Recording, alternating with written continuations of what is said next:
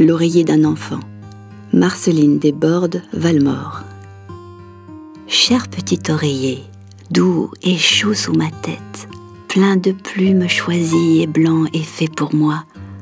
Quand on a peur du vent, des loups, de la tempête, cher petit oreiller, que je dors bien sur toi,